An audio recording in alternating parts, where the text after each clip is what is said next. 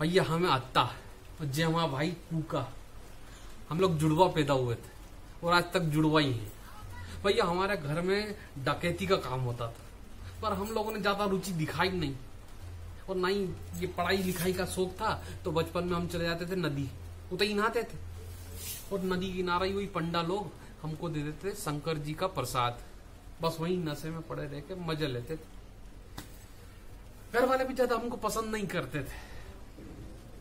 हम लोग की योजना बड़ी बड़ी थी तो वो लोग डरते थे कि हमारी योजना हो जाएगी सफल तो डकेतन कौन पूछ रहा हो फिर? तो हम तो भैया वहीं पहलवानी करते थे, खाते थे, पीते थे, सो जाते थे। और शादी हमने की नहीं। अब हुआ जे भैया कि हमारी पड़ोसन थी, आशा।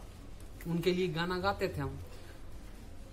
कितनी भोली है आशा, मेरा मन प्यासा।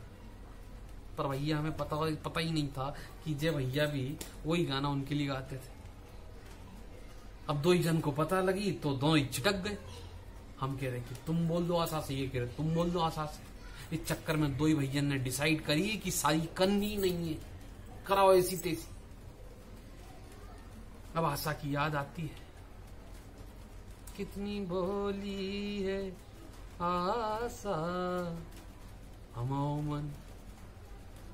प्यासा हमामन प्यासा।